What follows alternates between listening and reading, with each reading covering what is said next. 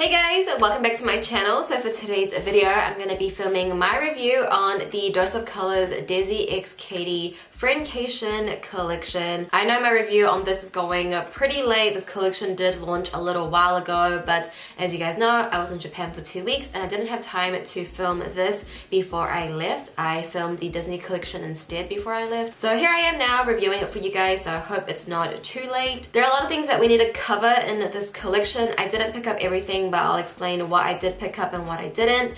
But yeah, if you guys are interested in hearing my thoughts on this collection, seeing three looks with the palette and seeing swatches of the lip colors and everything like that you need to know, then just continue watching. Okay, first things first is of course product info. There are a lot of new additions to the Desi X Katy Dose of Colors family now. Like I said in the intro, I didn't pick up everything, so I'll tell you what is actually in this collection. First, of course, is the Friendcation palette. I think this collection is hands down my favorite packaging period. I just Love how just glam and pretty and luxe this looks. This is 55 US dollars. You get 10 shadows and a little mirror here as well. They also did launch a new highlight and they also came back with Fuego. So I got Fuego with the first launch from last year and this is $28. I didn't pick up the new highlighter just because I know that highlighter would be too dark for me. They also came back with over the top gloss and they came out with a new gloss which I personally didn't pick up because just knowing my preference, I probably wouldn't like that gloss as much. It probably wouldn't be like my holy grail gloss. Um, but I do love Over the Top and this is 17 US dollars. They came out with a new formula of the Velvet Liquid Lips and they came out with, I believe, two shades. I only got one. I got the shade My Main and this is 18 US dollars. And then they also came out with lipsticks and I only got one out of the bunch that I liked, which is Hey Girl and this is 16 US dollars. A little bit of comparisons from the first launch to the second launch. The packaging is a little bit different. You can see the Friendcation palette to Fuego from last year. It's a lot darker and the packaging last year is a little bit more brighter and more gold. Also in the package, like you will get their little pamphlet, which is really cute. It's like a little postcard, like Friendcation. I think just the whole collection really comes together. And you also do get stickers, which is cool as well. And I saw that with Karen's collab with Dose of Colors, you also get stickers as well. Okay, so first things first, let's talk about the eyeshadow palette because I feel like eyeshadow palettes are always the most exciting things when it comes to collections. So this again is the Friendcation palette. You get 10 shadows in here for 55 US dollars. I've been really back and forth with this palette. I did bring this palette with me to Japan to try out for two weeks. This was the only palette that I used in Japan. It was really 50-50. Like some days I loved it. Some days I just like, is it worth it? Like oh, I don't know. So here is kind of my thought process to get to my conclusion. In Japan, I only use the matte shades. So there are five mattes and five shimmers, so you get a half and half. Using the mattes, honestly, they weren't my favorite. I would much prefer ColourPop mattes a lot more. I don't know, maybe it's just the shadow, especially Necessary, the transition shade. I had the most hard time with. I just felt like some days it would blend out so seamlessly, so beautiful, but some other days it was a little bit patchy. So I'm like, I can't gather my thoughts because every day it's a little bit different. I don't know if it's my eyes, I was traveling, what it was, but that was my situation. They were pigmented, but I just found like they were a little bit harder to blend out. And the thing with these form with the matte formula is that they don't have much fallout at all. If you just dip into it, there's a little bit of kick kickback in the palette, but once you just tap it off and you work on it on your eyes, there is no fallout whatsoever. Even with like the darkest shade, you will get no fallout on your face with the mattes. So I think maybe that might have something to do with it blending out not as well for me. Maybe it's just me and my technique. Then when I got home and I was filming this video for you guys, I was playing around with the shimmers. So with the shimmers, uh, honestly, they are just so stunning. They This palette is just so different to me and something that I personally haven't used before. So these shimmer shadows are very unique and just very special. With these, if you are going to use them, I would highly recommend that you do your eyes first because you will no matter what have fallout. There is just so many fine glitters in these eyeshadows. It's so pretty and magical. Yesterday, I filmed demo 2 and I wore a moment and game over on my eyes. Every person that I encountered, like when I was paying for something, complimented me on my makeup. And especially they complimented me on my eyes. They didn't say like, oh, what foundation are you wearing? What's your highlight? They were complimenting my eyeshadow and I was like, oh, because before I left yesterday, I was like, okay, I got my thoughts. I'm gonna tell them like, this palette's not worth it for 55 US dollars. That's like 70 bucks in New Zealand for 10 shadows. That was my thought. And I'm like, okay, I got my video down for tomorrow. That's what I'm gonna tell you guys. But after I went out and I got, I received so many compliments on my eyeshadow, I'm like, maybe it is worth it. Maybe it is something very, very special, you know? Because I've never received that many compliments in one day in person on my eyeshadow. So that kind of changed my opinion on it. Maybe it is something very special. And I know the shimmer shadows are very special, but it's just so incredibly pricey that I can't sit here and tell you guys what you can spend your money on. Like, I don't know what you already have in your collection and your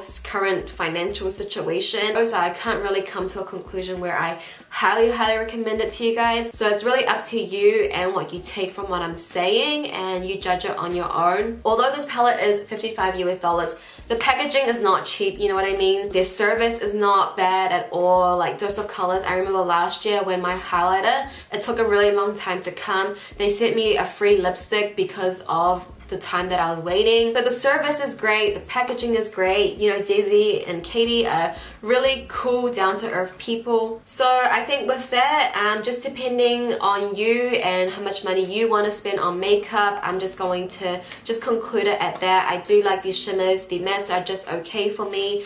Um, I definitely will be picking up this palette again. I just think the shimmers are something very special, very unique, and something that I haven't played around with before in an eyeshadow. They are almost like glitters. Now moving on to the next product which is the highlighter. I'm just gonna quickly run over this because you guys know that this is like literally my holy grail highlighter. I stopped using it for a little while like I only used it off camera because I knew that this was limited edition. It was out of stock. You guys couldn't buy it. I don't want to use things in my videos that you guys can't buy. Fuego is my favorite highlighter period and it just looks so good on the skin. The formula is amazing. You can just dab it once, put it on your skin and it's a very light wash of a highlight. It's not too much in your face but then you can really build it up to get a very striking highlight and I just love this formula. There is no chunky glitters. It's very smooth, very wet looking. Highly, highly recommend the highlighters. The next item I want to quickly run over is the gloss because I have already used this before and you can see that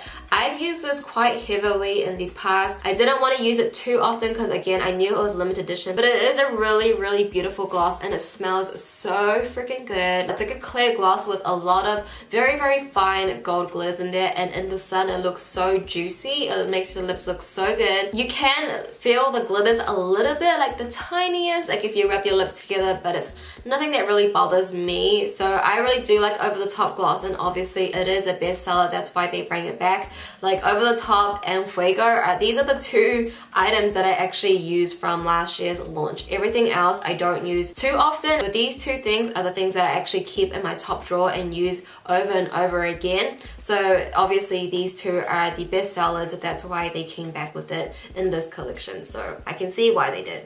So now we're going to move on to the liquid lipstick. So this is in their Velvet formula and I believe it's like a new formula. It's the lip color that I'm wearing right now and I got the shade in My Main and this also has a smell as well. It smells like the lip gloss. I was trying to find dupes for the liquid lipstick and the lipstick but I couldn't find anything that came similar to it. I feel like the lipstick, maybe some of the shades were a little bit similar, but definitely for the liquid lipstick, I couldn't, I don't have anything like this in my collection. As you guys know, I'm not like the biggest fan when it comes to liquid lipsticks and matte lipsticks. I'm someone that likes to keep my lips feeling hydrated, so that's why I prefer the glosses and everything like that. But this one is actually really comfortable. I did bring this with me to Japan, and for one week straight, I did wear this. It does last pretty long on your lips for it being a velvet formula, but definitely doesn't last you for like 12 hours, you know what I mean? It probably will last you a good 6 hours or so. After a while, you do need to take it off and reapply it. I don't feel like my lips feel incredibly dry when you first apply it. I mean, towards the end of the day, it does, but for the most part, I think it's a really good formula. And for the lip products, I feel like the pricing is decent. I mean, it is more expensive, but I feel like for these kind of lip products, it does kind of range in this price range. For the Velvet Liquid Lipstick, My Main, I definitely like it, and it's something that I'm going to keep in my top top drawer. I know I'm going to be wearing this lipstick a lot. So now I'm just going to insert a photo of the swatches that I found in my collection. I'm not going to try them on because I didn't feel like any of them were exactly a match. So I'll just leave the swatches of them over here so you guys can check it out.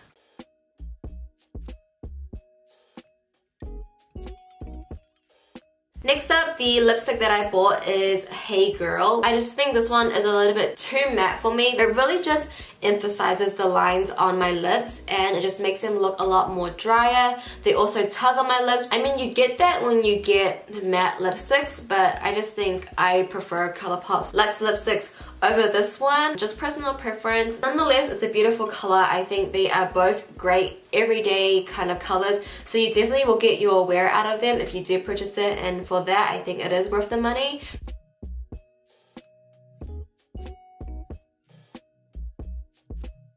So yeah, with that, that kind of wraps up my review. I just think it's really hard to recommend products when they are a little bit more pricey. So hopefully my review was helpful in deciding whether you guys wanted to buy any of these products or not because I know it is quite expensive. I know my conclusion of everything was kind of like it's up to you, but it is really up to you. I don't want you guys to take my recommendation and be like, Judy loves it, I'm gonna love it, because you might not. So just take it with a grain of salt, um, decide on your own, apply it to yourself of what I said. guys pick up anything from this collection, be sure to let me know what you think. But yeah, with that being said, let's move on to the swatches and the three demos.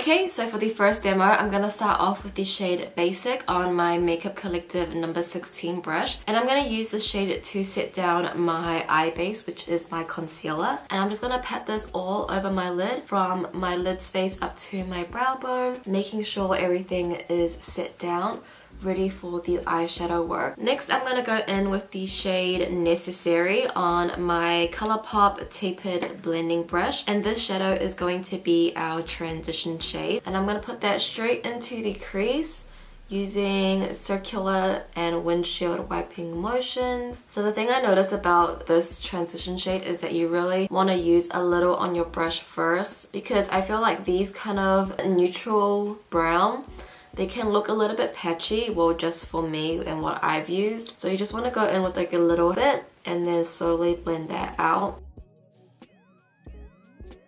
Okay, and now I'm taking the shade Girl Bye on my Morphe M433. And this is going right in the outer corner of our lid. I'm gonna first stamp on this color first using circular motions. And then I'm slowly gonna start blending it up to the transition and to the inner part of my crease. So we're just gonna be like deepening everything up and just going back in with my blending shade.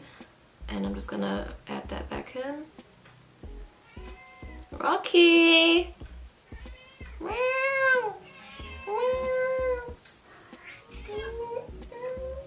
Okay, and now I'm taking the shade Chains on my ColourPop E9 brush and I'm going to be doing exactly the same thing but since I'm using a smaller brush, I'm going to focus this in a smaller section. So first I'm going to put that right in the outer corner first. And now I'm going to take the shade Try Me on my ColourPop Large Shader Brush, I believe it's what it's called. So I'm actually going to wet my brush and use this shade Wet and let's see how it goes. I'm only going to put this on the inner third of my lid space. And I'm just taking a little bit of Girl Bye once again on my Morphe M433 and just add it to that outer corner to bring back some of that red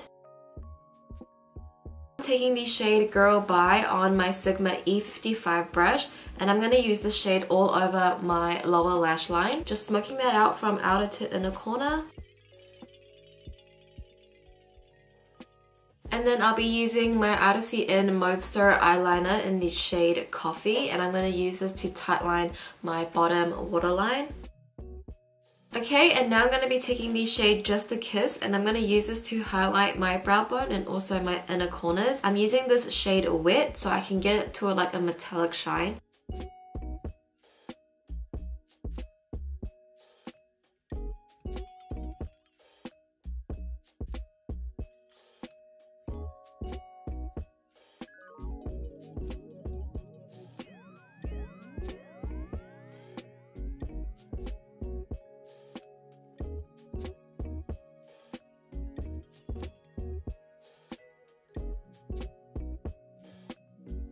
Okay guys, so this is the final look for look number one. For the final lip pairing, I decided to go with the Velvet Lip in the shade in My Main. I just thought the really warm nude lip would go well with like the reds in my eyes. For lashes, I am of course wearing the Boudoir Lites from House of Lashes and that is going to complete this very easy but grungy smoky eye.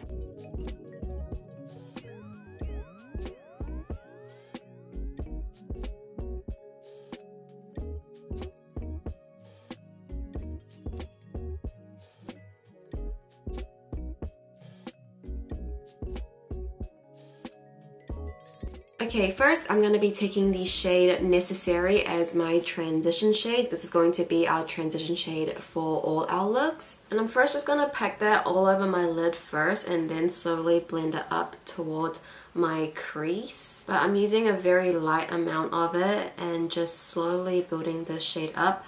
I feel like these kind of shades can look patchy sometimes. So I'm just taking my time with it making sure everything is nicely blended out. Because for look number two we're going to be creating such a dark look. You want to make sure the base of it is nicely blended before you add any darkness. I'm just taking a clean brush and I'm just going to go over the edges just to really diffuse everything because that is what is going to show through through the smoky eye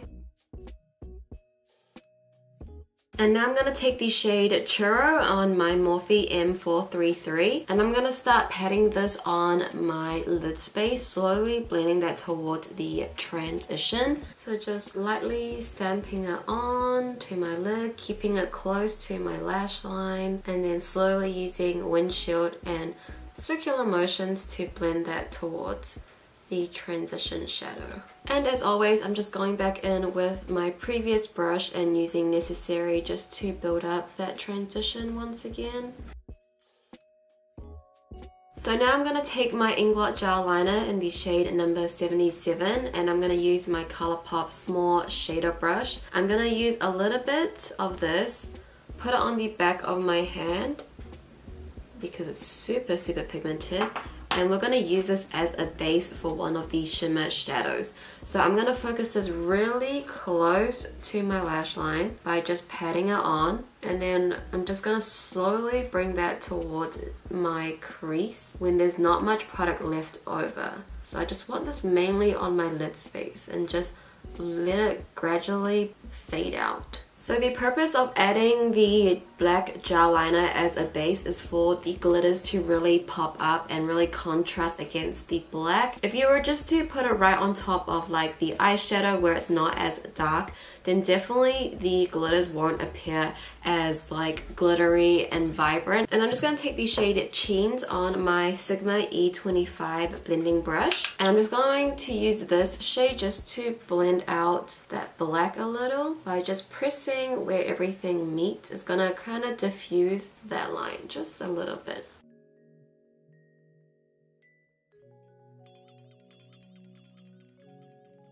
Okay, and now we're going to take the shade Game Over, which is the kind of dark black navy blue shimmer shadow. I'm going to use my Sigma E55 brush and I'm actually going to use it wet. And we're going to apply this right on top of the gel liner. Okay, I'm just going to pack it on my eye first and then I'll go in with my finger and maybe we'll get the most shine out of it. So the reason why I'm using my Sigma E55 brush, the shape of this brush is a lot more rounded and I want this shimmer shadow just to diffuse and be very soft. I don't want to be cutting any creases or anything. If I wanted to cut a crease, I definitely would use like more of a detailed synthetic brush. So as you can see around the edges, I'm just patting it. I'm not creating any creases. I just want this to be like a really pretty glittery smoky eye. Okay, and I'm just gonna take a little bit of a moment and this shadow is very unique, but I'm gonna just use it on my ring finger and just dab it in the middle just to create more dimension. It's gonna bring out more of like the light blues and add more dark blue glitters to it. And it's such a pretty duochrome. So kind of just mixing Game Over and A Moment together.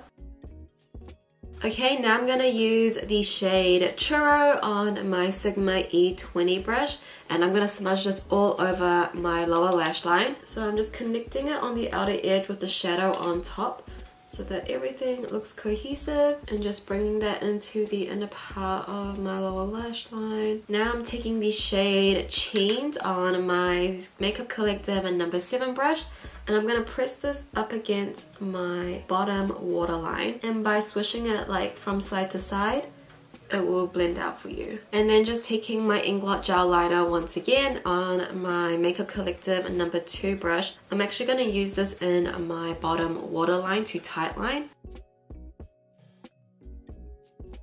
And that's also going on my top waterline as well.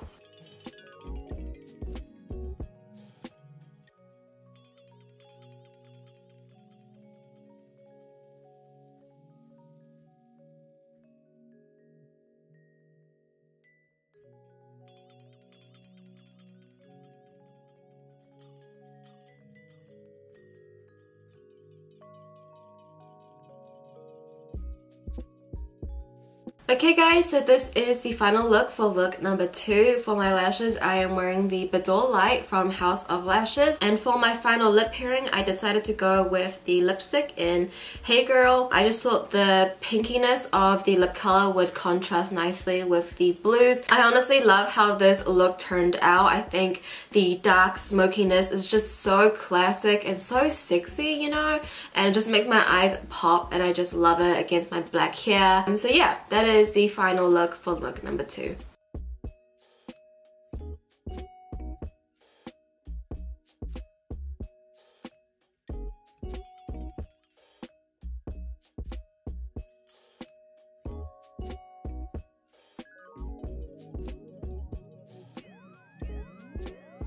Okay, first I'm going to be taking the shade Necessary and this is going to be our transition shade once again. We're going to be doing exactly the same thing as we've been doing in the past two demos, so nothing new here. Okay, now I'm going to be taking the shade Churro on my Morphe M433 and I'm going to start putting this all over my lid. It's very similar to the second look. We're just going to stamp this all over our lid and slowly blend that towards up to the transition shade. Okay, now I'm just going to take the shade Chains on my Colourpop E9 brush and I'm going to start focusing this on the outer corner of my eye. Once again, just stamping that on and then once that pigment is there and there's not much product left on your brush, I'm going to start blending a little bit more upwards into my crease and I'm going to bring that in towards the middle of my lid. Taking my small pencil brush, this is the Makeup Collective number 10 brush. I'm going to use this to get that right in the inner part of my lid space. Because of my eye shape, it's really hard to get into this little corner here with using like a bigger brush. So I'm just taking some concealer on the back of my hand using my Vanity Planet Small Cream Shadow Brush. I'm going to start creating a cut crease and halo eye. Put this straight onto the center of my lid and then slowly bring that towards my crease. Now I'm just taking this very thin brush. It's like a paint brush and I'm going to use this to help me really sharpen up the cut crease.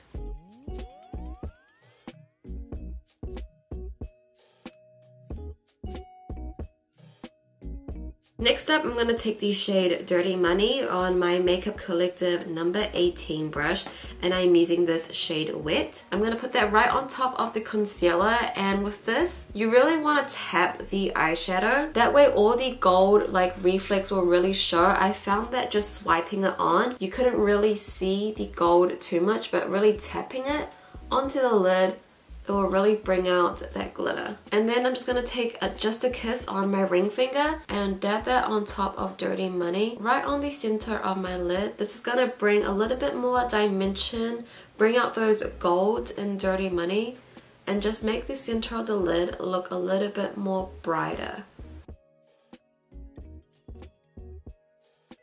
So now taking the shade Churro on my Sigma E55 brush, I'm just going to run this on my lower lash line from outer to inner corner. Again, just making sure we're connecting it with the shadow on top at the outer edge. That way the whole look can look a little bit more cohesive and not like two separate eye looks. And just using my Artisty In Modestar eyeliner in the shade Coffee, I'm going to use this to tightline my bottom waterline.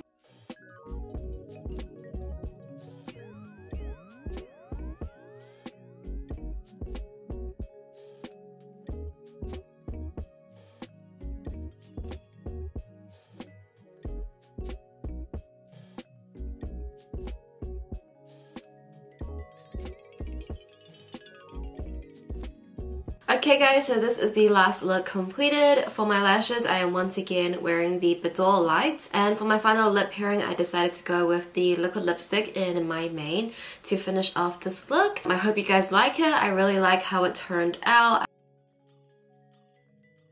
Okay guys, this is going to wrap up my video for today. I hope you guys enjoyed everything and found it helpful in deciding if you wanted to buy anything from this collection. I love Desi and Katy both so much. I watch their videos, their stories, their snaps religiously. But of course I wanted to be 100% honest with you guys. So with summer products I cannot just 100% recommend to you. If you guys did enjoy this video and found it helpful, be sure to give this video a thumbs up for me. Also comment down below your thoughts on the looks, on the products. Did you guys pick anything up? Are you gonna pick anything up after this video? Be sure to let me know down below. And with that being said, that is it for today's video. I love you guys. Thank you so much for watching and I'll see you in my next video.